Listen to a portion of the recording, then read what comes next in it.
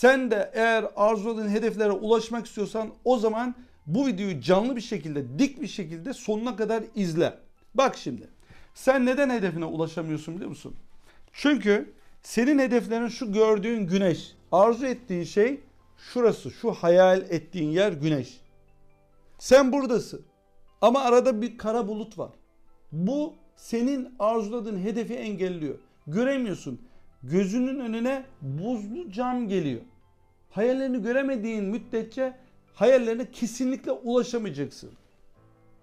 Ömrünü zayi edeceksin. Yılların geçecek. Ve yıllar geçti. Sen her türlüsünü denedin. Binlerce kitap okudun belki. Belki 5 tane üniversite bitirdin. Ama göremiyorsun hayalleri. Çünkü arada kara bulut var. Göremiyorsun. Peki görebilmen için ne yapman lazım? Bir kere bu kara bulutların ne olduğunu bilmen gerekiyor. Bak bu söylediklerim sana acı gelebilir, ağır gelebilir ama iyi odaklanırsan eğer hedeflerini göreceksin ve arzuladığın hedeflere ulaşacaksın. İyi dinle beni. Bak bu kara bulut ne biliyor musun? Bir, kafandaki soru işaretleri. Sürekli sorular ve sürekli düşünceler. Bu düşünceler kafanda olduğu müddetçe kara bulutlarla dolu olacak ve net göremeyeceksin hedeflerini. Hani filozof insanlar var ya sürekli filozofluk yapar, felsefe yapar, edebiyat parçalar, ağzı laf yapar ama bir adım ilerleyemez. Hani söylediklerini uygulamayan tipler var ya işte onun gibi kara bulutlar da odur değerli arkadaşlar. Senin hayatında sürekli laf varsa, sürekli kafanda düşünceler seni meşgul ediyorsa o zaman hayallerine ulaşamayacaksın demektir. Sen bu zamana kadar birçok şey denedin zaten. Olmadı, olmayacak. Ben sana söylüyorum. Kara bulutlar var çünkü arada. Göremeyeceksin, hayallerine ulaşamayacaksın. Kafandaki düşünceler felsefe yaptığın müddetçe, sürekli her konuda yorum yaptığın müddetçe, sürekli her konuyu bildiğini zannettiğin müddetçe, bilgiçlik tasladığın müddetçe bir cacık olmayacak. Açık konuşuyorum. Bu sana ağır gelebilir. Çünkü bu kara bulutlar aynı zamanda egodur, kibirdir, bencilliktir. Ben biliyorum hocam. Ben 5 üniversite bitirdim. Ben doktoramı yaptım. Hocam o anlattıklarının hepsini biliyorum, hepsini uyguladım dediğin müddetçe bir şey olmayacak. Bardağını boşaltmadan içine bilgi koyamazsın.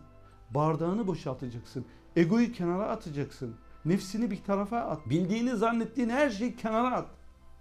O zaman başarırsın. O zaman hayallerini görür ve hayallerine o zaman ulaşırsın. Yoksa ot gelir, saman gidersin. Hedefine ulaşamazsın. Şu sözü iyi hatırla. İstersen not al, birkaç kere oku o zaman anlayacaksın. Kafandaki düşünceler azaldıkça ilham kapıları açılır. Bilinç altından o zaman bilgiler gelir, çözümler gelir. O zaman görmeye başlarsın. Toparlayayım. Düşünceler yani kara bulutlar kayboldukça güneşi görürsün. İlham kapısı o zaman açılır.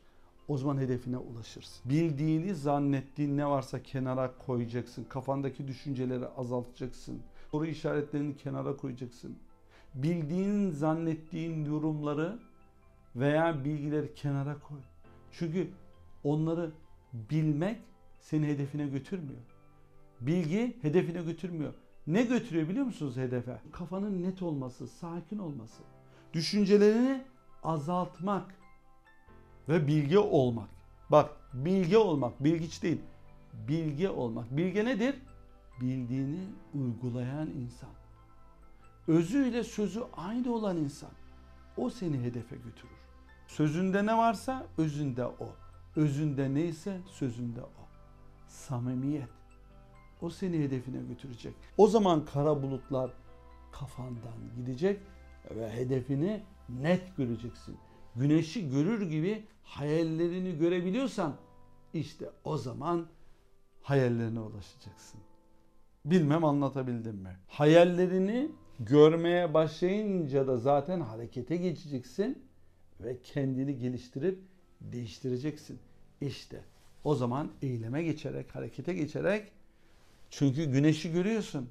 güneşe doğru ilerledikçe gölgen seni takip edecek merak etme. Takip edecek. Sen sadece güneşi görüp güneşe doğru git. Ama bu zamana kadar ne yaptın sen? Kara bulutlardan güneşi göremedin. Güneşi bulamayınca da bu sefer gölgene baktın. Yani egonu gördün. Egonu besledin. Gölgenin arkasında, kendi gölgenin arkasında sürekli kendini överek, kendi egonu yükselterek, kendi gölgenin arkasında koşarak güneşi arkaya bıraktın ve bir türlü gölgeyi yakalayamadın. Yetmedi zaten. İki üniversite bitirmek yetmedi. Beş üniversite bitirmek yine yetmedi. Yine yetmeyecek sana. Bir türlü doyuma ulaşamayacaksın. Çünkü güneşi arkaya alarak gölgene kesinlikle ulaşamayacaksın. O yüzden artık bugünden sonra kafanı boşaltmaya çalış. Düşünceleri azaltmaya çalış. Sakinleşmeye çalış ki ilham kapıları açılsın. İşte o zaman güneşi görürsün. O zaman hayal ettiğin, arzu ettiğin neyse onu kafanda net görürsün. Sen de eğer gerçekten arzu ettiğin hayallere ulaşmak istiyorsan kibir, nefis, ego bunları kenara atıp veya bildiğini zannettiğin her şeyi kenara atıp arzuladığın yerlere varmak istiyorsan o zaman benimle iletişime gir. Ben sana arzu ettiğin, hayal ettiğin yerlere nasıl adım adım ilerleyeceğini anlatabilirim. Bunun için iletişime gireceksin. Hemen videonun altında link var. Formu doldurup göndereceksin. Bu kadar. Yapman gereken şeyler bunlar. Şimdi hemen harekete geç. Linke tıkla, formu doldur ve gönder. Hoşçakal.